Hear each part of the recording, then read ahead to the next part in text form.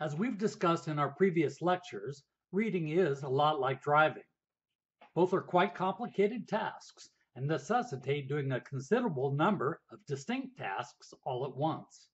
However, we've been reading and driving for so many years that our multitasking has reached a level we call automaticity. In fact, a certain degree of automaticity is absolutely essential for good driving and also for reading, but there are downsides as well. For example, most of us who have been driving for years have had a similar experience. We get on a familiar road to a familiar destination and our minds begin to wander. We arrive at that destination with the realization that we have absolutely no memory of driving to that place. We were truly on autopilot.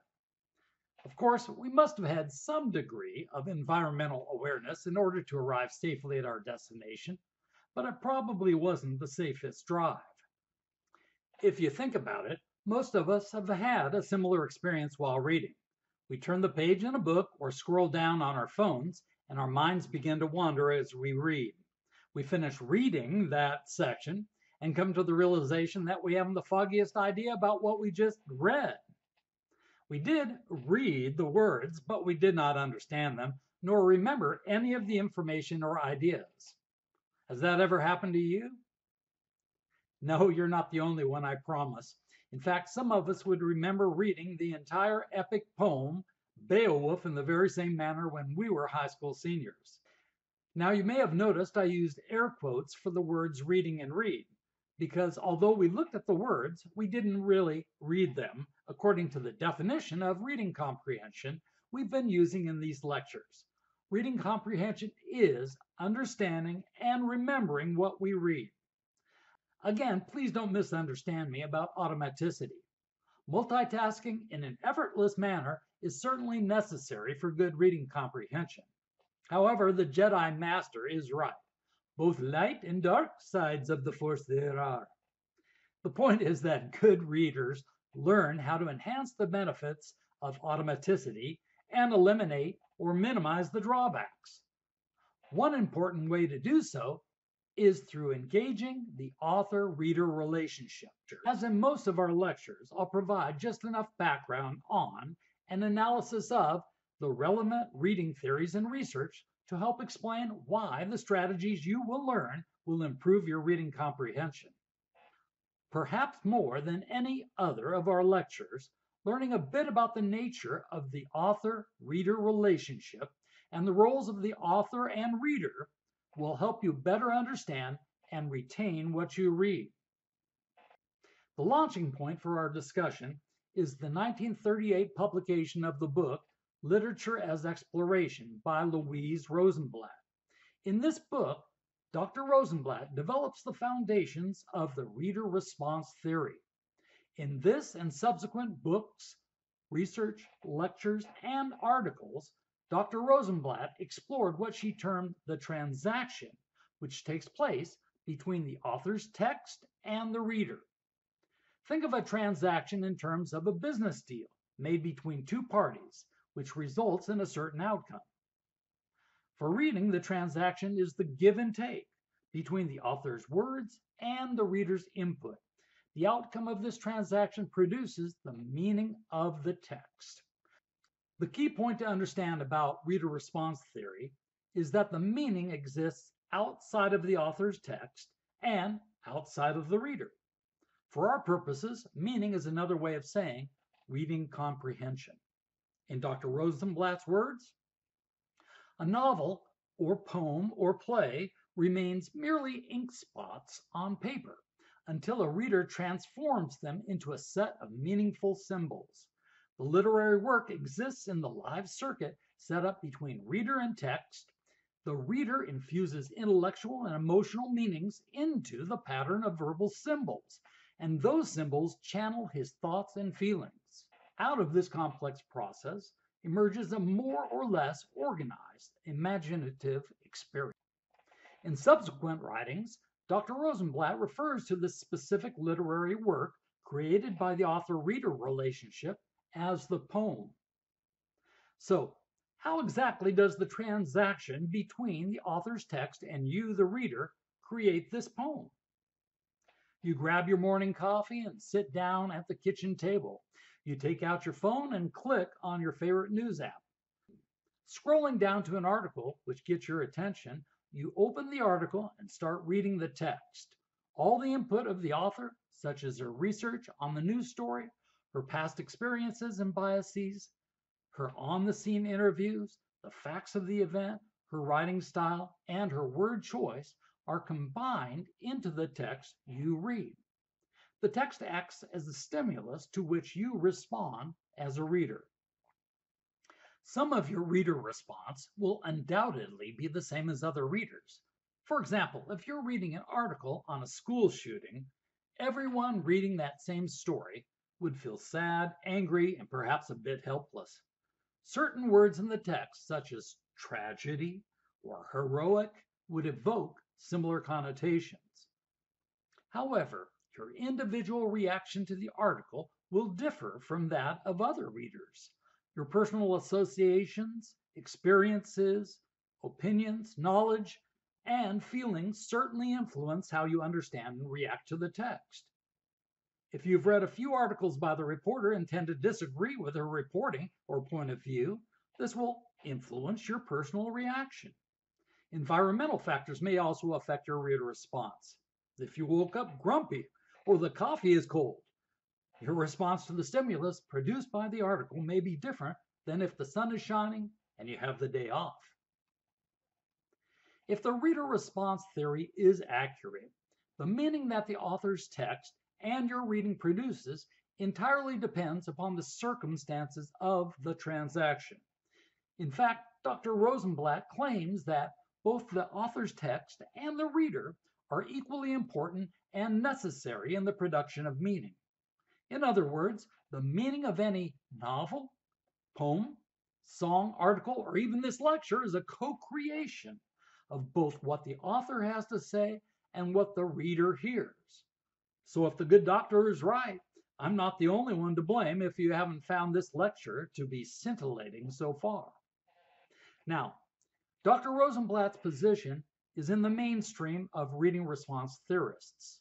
While she stresses the important role of the reader in shaping the meaning of the text, particularly in terms of the reader's emotional response to the author's stimulus, she also values the role of the author's text. The text serves as a blueprint to guide and a checkpoint to restrain the reader's response so that the subjective experience of the reader is balanced with the objective text. Other reader response theorists have disagreed with Dr. Rosenblatt's balanced position and have de emphasized the role of the author and text. Some have even trotted out George Berkeley's If a tree falls in the midst of the forest and no one hears it, does it make a sound conundrum to question whether the author's text has any meaning whatsoever apart from that of its individual reader. According to these reader centered theorists, the text only exists as it's being read in the mind of the reader, just as the tree makes no sound unless someone hears it. No right, no wrong interpretations because there is no objective benchmark. So every student would get an A plus on any exam. Others have argued against the individual reader centered position and claim that the social nature of reading has the impact on creation of meaning. Of course, we don't read in a vacuum solely of our own experience. As literary critics, we all have somewhat of a herd mentality. Think about how the interactive nature of social media creates meaning for better or worse. Now, some of you may be questioning whether the reader is really equally important to or more important than the author's words in determining meaning. A few of the buzzwords I just used to summarize Dr. Rosenblatt's theory may have stimulated your own critical response. Good, we're supposed to be partners in this transaction. You might think back to reading Act 2, Scene 2 of Romeo and Juliet in your freshman year of English. Is your interpretation of Romeo's but soft what light through yonder window breaks soliloquy of equal value in determining what the character means compared to what the author of the text, William Shakespeare, says and intends, I'm thinking you'd feel a bit uncomfortable in sharing your literary insights and interpretations if Will himself happened to be sitting in your English class? Doesn't Shakespeare's play remain objective despite your subjective interpretations? As a reaction to reader response theory, some critics have argued that the author's text should be read as is and in its own context apart from outside influences, such as the author's background, motives, and biases, and the reader's feelings, experiences, and interpretations. Many in this school of thought believe that the accurate meaning of the text may only be discovered if all subjective influences are ignored. These text-dependent theories especially rail against the more extreme views within the reader response camp. They would argue that a reader-centered transaction permits the reader to make the text say anything they want it to say. Far from the no right answer approach of some reading response theorists, they would argue that there are right and wrong interpretations of the author's text. After all, it is the author's text, not the reader's text. Teachers should ask, what does the text mean here? Not, what does the author mean here and why did she say this? And they certainly should not ask, how does this text relate to your own life and make you feel? According to these theorists, not everyone would get an A plus on their final exam on, say, Romeo and Juliet. Speaking of exams, let's place these author-reader schools of thought in the perspective of your own school experience. Were your English teachers and professors more influenced by reader response or text-dependent schools of thought? If you remember your English teachers and professors assigning plenty of independent reading and your assignments involved completing KWL charts in which you recorded what you already knew about the subject, wanted to know, and learned after reading, or dialectical journals, also known as double entry journals, in which you copied key passages from a text on the left side of a notebook in your personal reactions, textual analysis, inferences, references to other literary works, connections within the text, questions and summaries on the right side, then your teachers were using some reading response strategies. If you remember reading and writing about lots of class novels with line by line interpretations and literary analysis, or close reading practice, an investigation of a small section of reading using multiple readings and reader analysis of the text, including form, vocabulary, tone, and grammar, then you receive more text-dependent instruction. You probably were exposed to bits and pieces of both reading theories and practice over the years with different teachers and professors. Since the advent of the Common Core State Standards, text-dependent reading strategies have regained traction in schools and universities. But Dr. Rosenblatt's mainstream reading response theory remains influential as well. My take is that Louise Rosenblatt's reading response theory does ring true in describing the overall framework of text, reader, and meaning. Clearly, both the text and reader are partners in the transaction to co-create meaning. However, the relationship is not merely the print on the page interacting with an individual reader, nor is it a static 50-50 proposition. No text can be divorced from its author. Knowing the author's background, point of view, biases, and purposes for writing certainly influences the meaning of the text. Furthermore, readers can't help but contribute to the meaning of the text through their own feelings, values, experiences, and reading skill sets. Generally, the author's text should serve as the primary source of meaning and the stimulus to the reader's understanding and response. But the author-reader relationship is a dynamic partnership in which some texts are more centered on the author and some are more centered on the reader. Now let's put into practice what we've learned about the author-reader relationship to improve your reading comprehension with two practical strategies. The first strategy to help you better understand or retain what you read is monitoring meaning. Good readers learn to monitor meaning from text to text and within the text itself. With author centered texts designed to inform, explain, and analyze, such as news articles, nonfiction, technical writing, legal text, and instruction manuals, the reader's comprehension should be primarily text dependent. You, the reader, need to lean on the author and her text for meaning making and less so on your own input. For example, when reading that news article on the school shooting, you would rely upon the expertise and accuracy of the news reporter to help you understand what happened. To put together a toy on Christmas Eve, you should depend upon the concise step by step directions as well as a good picture on the box. With reader centered text designed to describe, entertain, or persuade, such as fiction, poems, editorials, social media posts, and songs, the reader's comprehension should derive from the mutual input of author and reader, depending upon the dictates of the text. When crucial facts or plot events are being delivered, you, the reader, should adjust to greater text dependence. When descriptive passages, emotionally based dialogue, and figurative language are used to evoke a certain mood, you need to shift to greater reader dependence. For example, if you are listening to and reading the lyrics of Lennon and McCartney's With a Little Help from My Friends, you as the audience are intended to contribute meaning to the song. Some of the lyrics are intentionally ambiguous.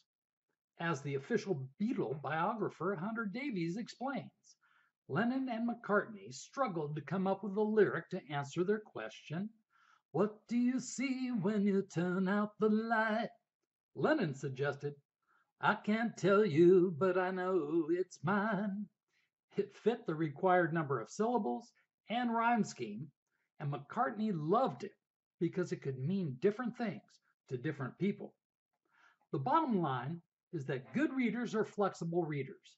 They monitor and shift their sources of comprehension according to the genre of the text, the author's purpose, and within the reading itself. Skilled readers are active, not passive thinkers who see the author reader relationship as an interactive process. The second strategy to help you better understand and retain what you read is talking with the author. Talking with the author will give you the practical tools to implement the monitoring meaning strategy and will help you learn how to become an active, not passive reader. Have you ever noticed how your English teachers and professors insist on discussing a novel or an article and its author in the present tense? For example, when analyzing Hemingway's For Whom the Bell Tolls, your teacher might say, in chapter 7, Hemingway builds suspense in the conversation between Pilar and Robert Jordan. The two walk into the cave and discover that one packet of explosives is missing. And most of you remember that we also write a literary analysis in the present tense, unless you want a considerable amount of red ink written on your essay. Now, last I checked, Ernest Hemingway died in 1961 but we still discuss him and his writing as if he were alive because the author and his ideas remain relevant. Not only should we discuss authors and text as if they are alive, we should also read as if the author and the text are alive. It does take a bit of imagination, but if we treat the author and story as living, it's much easier to have a conversational rapport with the writer and characters within the story. You see, reading to a corpse would be a one way conversation, unless zombies come into play. Reading with living, breathing authors and their characters can become an engaging two way conversation. To demonstrate the difference, let's read a passage together from Charles Dickens' A Tale of Two Cities as passive readers. Since Dickens was, uh, or is, British, I'll try to read with an English accent. I know it's horrible, but it will serve a purpose. It was the best of times. It was the worst of times. It was the age of wisdom. It was the age of foolishness. It was the epoch of belief. It was the epoch of incredulity. It was the season of light. It was the season of darkness. It was the spring of hope. It was the winter of despair. We had everything before us. We had nothing before us. We were all going direct to heaven. We were all going direct the other way. In short, the period was so far like the present period that some of its noisiest authorities insisted on its being received, for good or for evil, in the superlative degree of comparison only. There were a king with a large jaw and a queen with a plain face on the throne of England. There were a king with a large jaw and a queen with a fair face on the throne of France. In both countries, it was clearer than crystal to the lords of the state, preserves of loaves and fishes, that things were in general settled forever. Now, let's read the same passage, and I will model how an active reader carries on a conversation with the author. I'll switch back to my normal West Coast American accent as the active reader. It was the best of times, it was the worst of times. Dickens clearly means to describe a universal theme with this general language. So often we tend to look back at some eras as the good old days when they really weren't that good. Hindsight is never 2020 vision. It was the age of wisdom, it was the age of foolishness. I see Dickens' paradoxical patterns of the good to its bad opposite. But his extremes make me think that he's writing somewhat tongue in cheek. Nothing in life is that clear, especially when we're in the midst of experiencing it. His parallel structures of it was the use the absolute factual use of the to be verb and the definite article the to describe a time of no gray areas. It was one way or the other. It was the epic of belief. It was the epic of incredulity. I know that some of the setting of this novel takes place during the French Revolution and that the two cities are Paris and London. My guess is that Dickens, an Englishman, is going to favor the ideals of his own London and disparage those of Paris. The traditions of the church were being challenged by the thinking of the Enlightenment. Faith versus reason. Dickens unfairly places the Enlightenment thinkers in the evil position. I personally don't see faith and reason as a necessary paradox either. It was the season of light. It was the season of darkness. It was the spring of hope. It was the winter of despair. These polar opposites have everything to do with one's perspective. For some, the changes during this period of history were positive and the outlook was bright. For others, the events challenged everything they had ever known to be true and good. I would wager that for a whole lot of people, what was taking place was a mixed bag of good and bad. Why doesn't Dickens include the haves and have nots in his opening?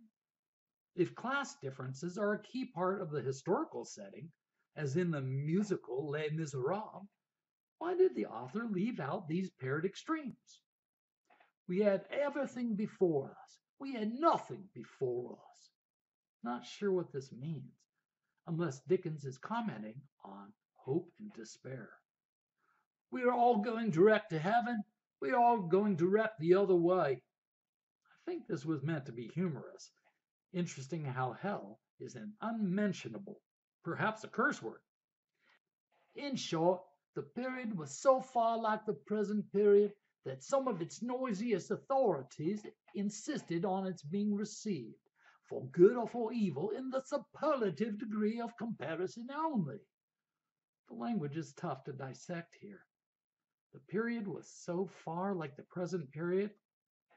The so far could mean that it closely resembled the time of Dickens' writing.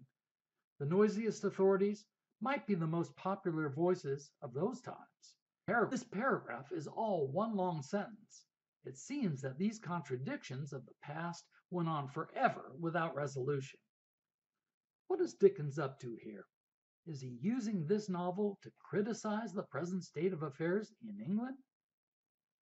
There were a king with a large jaw and a queen with a plain face on the throne of England. There were a king with a large jaw and a queen with a fair face on the throne of France. In other words, there wasn't much difference between rulers, perhaps due to intermarriage, or more likely in their beliefs about the divine right to rule. Some things never seem to change. In both countries, it was clearer than crystal to the lords of the state preserves of loaves and fishes that things in general were settled forever. Hmm, let me reread that. It was clearer than crystal to the lords of the state preserves of loaves and fishes that things in general were settled forever. The loaves and fishes illusion of miraculously making something great out of very little, such as the expansion of citizens' freedoms and rights or democracy, were not realistic nor likely during those times. Is Dickens saying the same about his current times and knocking the English monarchy? If the reader response strategy, which I call talking with the author, worked as planned, you would notice that your understanding and retention of the reading passage were significantly better with the second reading as compared to the first reading. Notice that the window of meaning seemed to shift more toward the reader because of the universal themes and application to present times. You may have noticed that my comments in the conversation were of different types. I focused on what the author said and how the author said it. I also commented on what the author did not say and what the author may have meant. Additionally, I criticized and questioned. I repeated the author's words and reread in order to clarify. I speculated about the author's motive and where he was coming from. I also throw in my own two cents, as I might in a real one on one conversation. However, I tried to focus on the author's meaning and ideas, and not only on my personal experience. Now, the talking with the author strategy takes practice to perfect. You can use this strategy with every genre of reading. Practice doing so with texts and Facebook posts, emails, novels, articles, and technical documents. Of course, you noticed that I was making my comments out loud. My suggestion is to read the author's text silently, but to subvocalize your comments as you begin to use this talking with the author strategy. I describe subvocalization as using a six inch voice to talk to the author. Don't worry, your author isn't hard of hearing. Some of you may have reservations about implementing this strategy.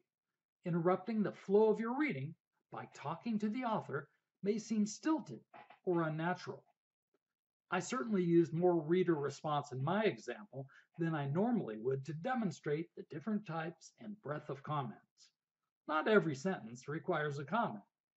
Instead of chunking the text into interrupted parts, you will begin to see a greater flow of ideas as you insert your comments.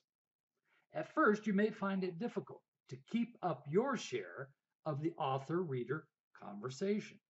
This new way of reading, in which you, the reader, have a role in the conversation, takes some getting used to. Make sure to develop a balance in the types of comments you make so that you aren't solely making comments, say about word usage or the author's style. Using the talking with the author strategy will also temporarily slow down your reading. You may be tempted to use the strategy only with text, which isn't required reading.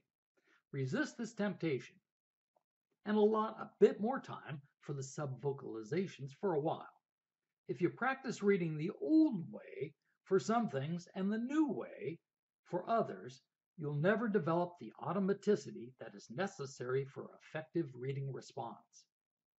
I do want to assure you that your decreased reading speed will only be a temporary issue.